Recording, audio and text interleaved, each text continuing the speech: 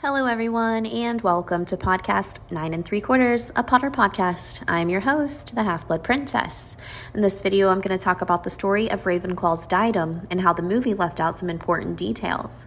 But before we get started, if you love Harry Potter as much as I do, be sure to subscribe and give this video a thumbs up. While everyone else is preparing for the Battle of Hogwarts, Harry must find Voldemort's last Horcruxes and destroy them before he can fight him. These are the Ravenclaw Diadem, Nagini, and himself, which he doesn't realize until later. In the book, Harry realizes it's the diadem through a telepathic moment with Voldemort, then finds the Grey Lady, Helena Ravenclaw's ghost, through nearly headless Nick.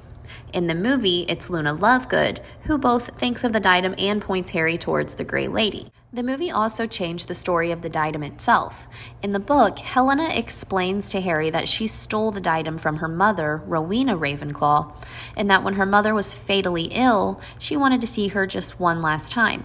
So she sent the Bloody Baron, before he was a Hogwarts ghost, to get Helena.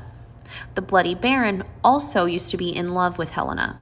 When he finally caught up with Helena in the forest in Albania, she hid the diadem in a hollow tree, and when she refused the Baron's advances, he killed her, then killed himself out of guilt.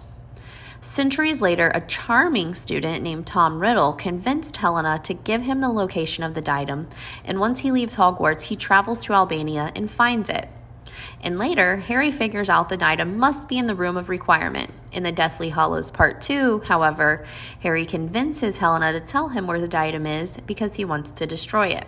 Also in the books, the diadem is destroyed by Vincent Crabbe's Fiendfyre inside the Room of Requirement, but in the movies, Harry stabs it with the Basilisk Fang and Ron kicks it into the Fiendfyre. Let me know your thoughts in the comment section and be sure to like and subscribe. Okay, love you. Bye.